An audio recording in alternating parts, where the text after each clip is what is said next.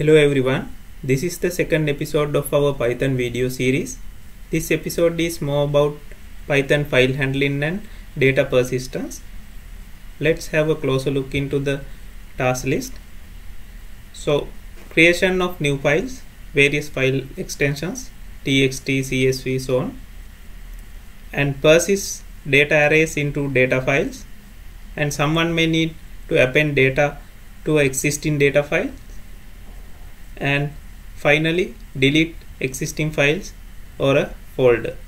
So for today's episode I will be use the OS package to complete the fourth task. Other than that I will be using only the inbuilt Python methods. Okay let's start the coding part. For first I will create the script file. So I will give the file name as file writer python.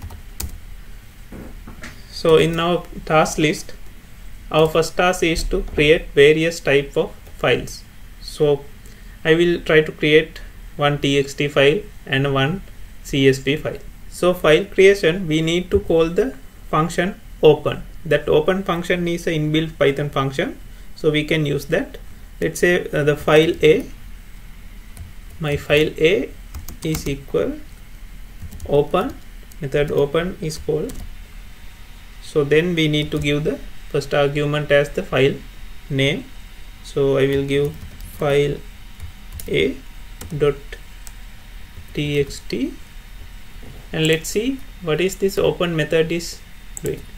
So this open method has file and the mode buffering encoding errors new line closefd so these are the parameters. So the first one is we is a must variable. So all others have default arguments. So uh, so we we may need to give the file name and the mode. The, these are the basic two arguments we need to give. So r means reading. So if we not specify a uh, mode here so it is default to read. If we run this file it will give a error. So this means it, it gives the file not found error. We, we create this file to read first. So there should be a file. So that's why it gives the error. So if we need to create the file we need to give as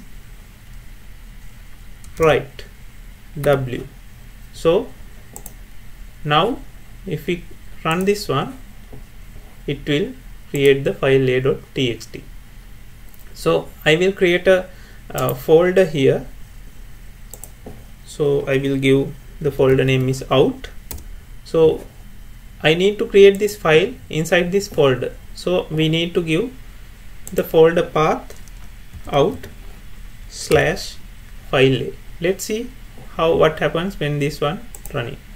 So it did nothing to here. It creates another file inside the out folder so I will delete this one and I will create another file called file b. So this file b I will give the file type as csv let's run. So it creates the csv file format that is the various file format. Only we need to give the extension in the file name. So this is how we can create a file. So if we go back to again open file format you can see what are the different modes you have. So these are the modes. R means reading. That is the default value. And w means open for writing only. So x means create a new file and open it for writing so if we use the x here let's say I, I am using x here I will delete these two and try.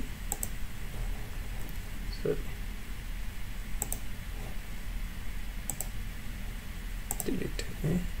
I will run it here. So it creates the files. So if there are no files or exists files w will create the file. Again create the file. So let's see what happens with the x command. The file b is now existing. See it it gives an error. So this error means file exists. The file b csv is already exists so this x means if it is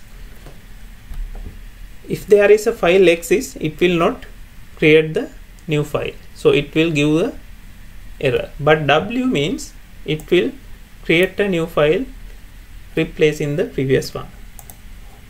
Okay. So other ones. So a means we need to open a file for appending. So that means if the file is exits it will open it and append the file. If there is not exist that file it will create the file and start writing. So b means binary mode. And this plus means we can write open write read both you can use as this one. So you can use w plus as well. Okay so you can use a for appending so this is the various file open types you can use okay. So as in the next two tasks let's see how to persist and append data to a file.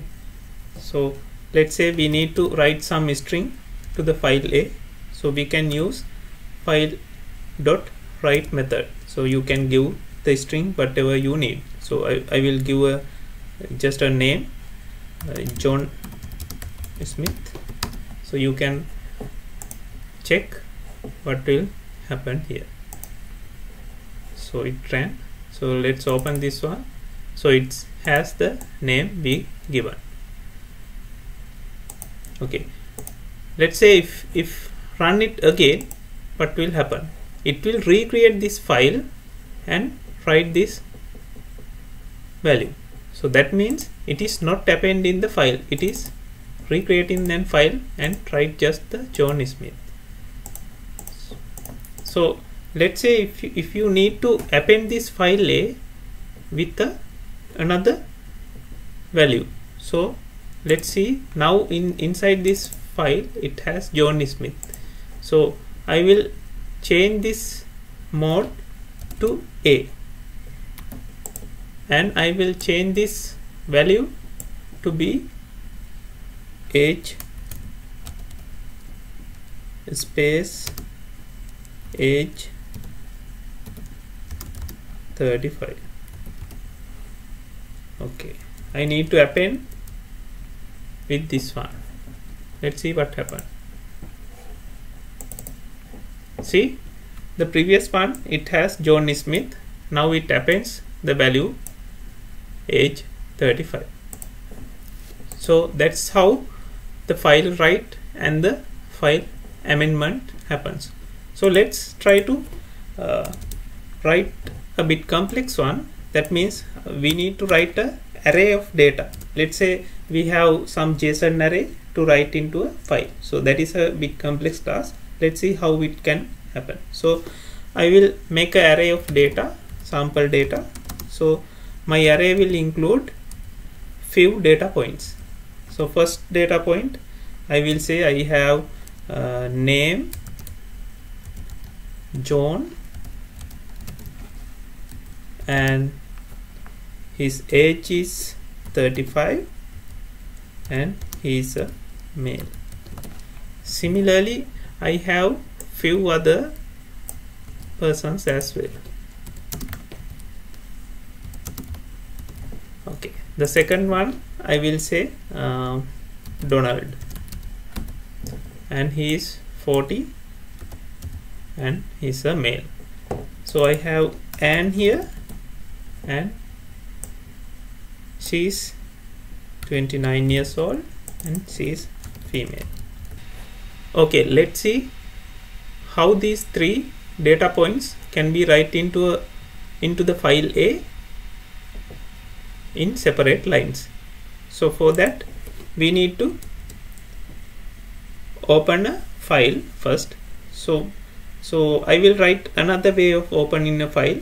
So that is uh, with with command. In python we can use a with command. So with open of my new file. So I will give another file name same as uh, contact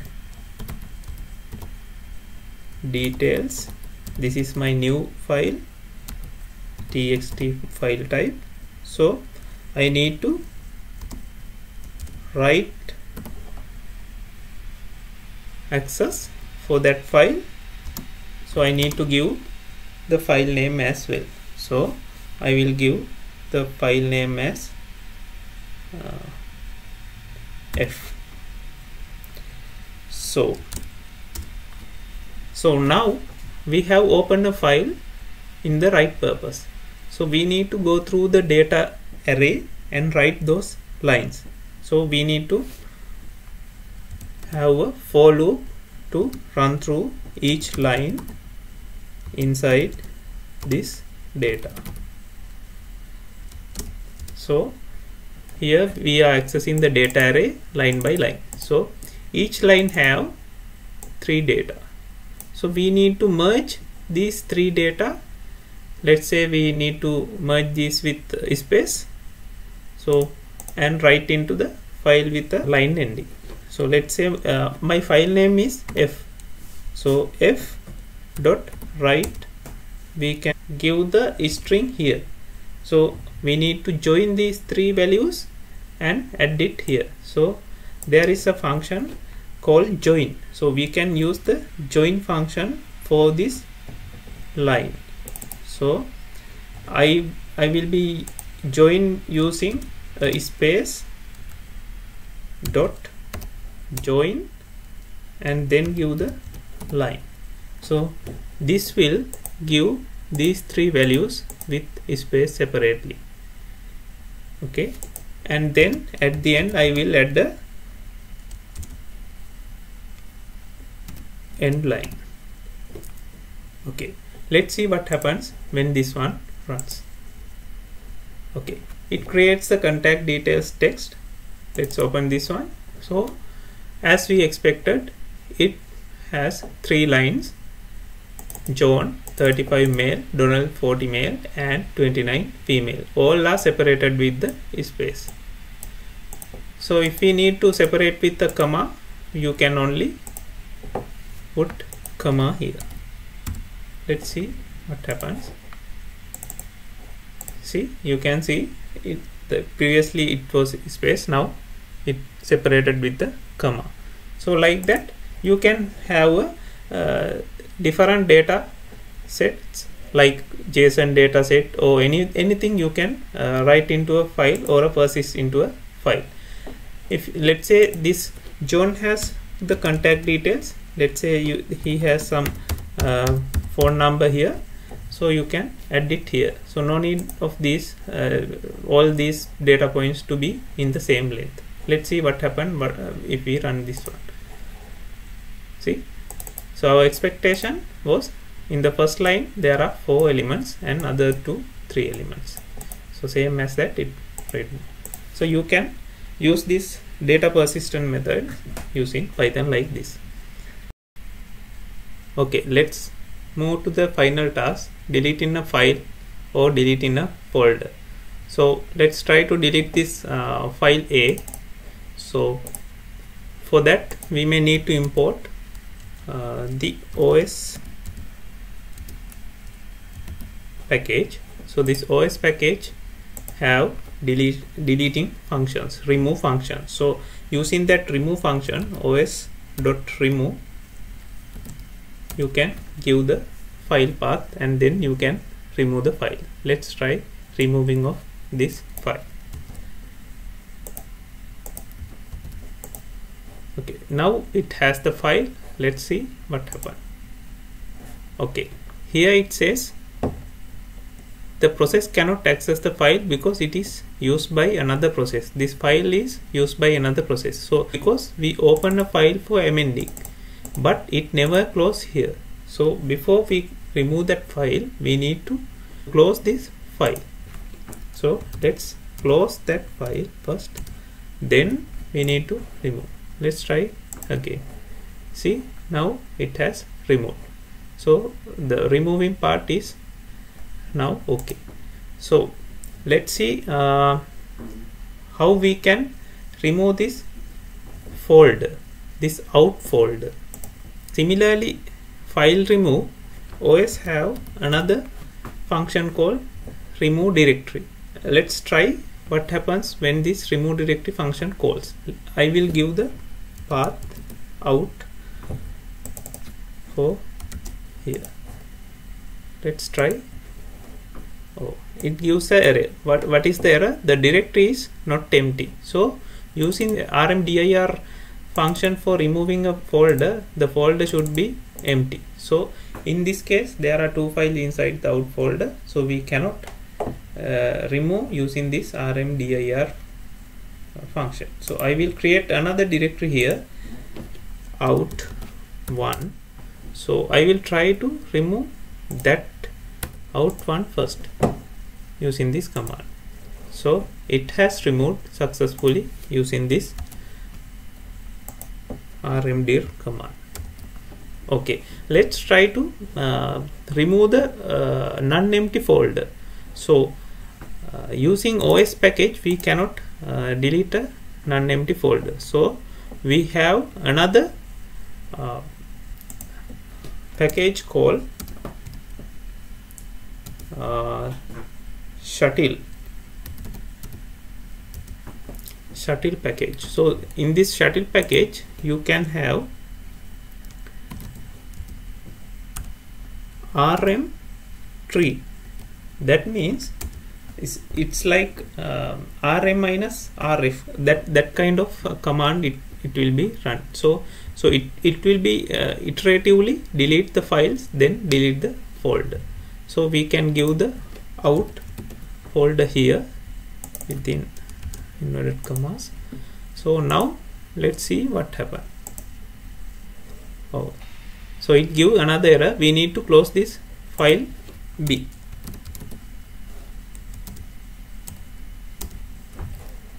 let's see what happens now. See now it has removed all the out folder here. So this is our the final task. So closing a file and removing a file and deleting a folder. So if you are deleting a empty folder better use this os one. So if you are going to remove iteratively you need to use this shutil uh, functions so this is all about today's episode. We cover all those four tasks uh, file handling and data persistence through python. So let's uh, meet with another python scripting episode. Till then goodbye